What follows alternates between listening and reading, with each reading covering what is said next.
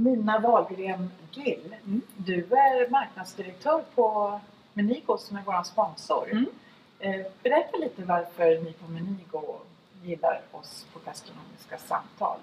Ja, jag började själv bara för sex månader sedan och inser att jag kommer från en helt annan bransch. Och jag inser att det här är en bransch som består väldigt mycket av relationer, som består väldigt mycket av eh, olika delar av en värdekedja som faktiskt måste agera tillsammans. Och där måste jag ju säga att gastronomiska samtal tog ju för ett antal år sedan det steget att föra de här parterna tillsammans. Och det tycker jag är fantastiskt och det är det som kommer att bringa värde tror jag till, till den här branschen i framtiden. Så att det kommer vi vara en del av tror jag ganska länge.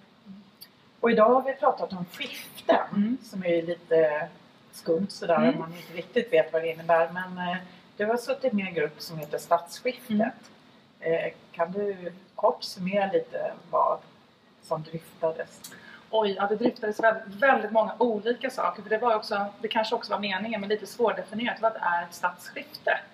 Eh, vi hamnade väldigt mycket i att diskutera olika stora aktörers faktiska ansvar för att driva olika frågor.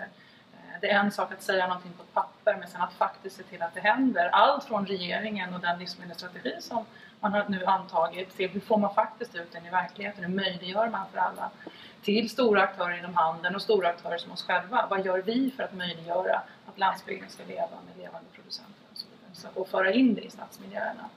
Ehm, och där kan jag ju konstatera, nu är jag ganska ny i vår bransch, men självrannsakande lite se att det ses ju som att vissa av de här stora aktörerna är inte möjliggörare utan bromsklossar faktiskt för mindre aktörer att komma in på marknaden. Och det måste vi ju jobba med för det är absolut inte, det är ju inte det, den målsättning vi har. Vi vill ju främja svensk gastronomi och vi vill få ut så mycket goda måltider som möjligt till, till alla våra kunders slutkunder. Så att, eh, det är ju vår...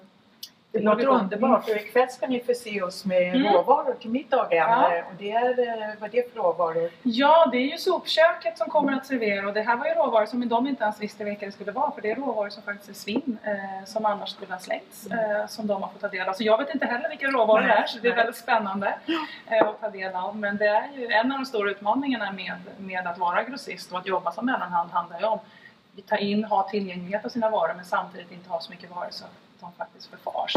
Så svinnet är en stor fråga för oss som vi hela tiden jobbar med. Så det blir väldigt spännande att se. Det tycker jag också. Tack så hemskt mycket. Kul att ha dig här. Ja, tack för att jag får vara här. Mm.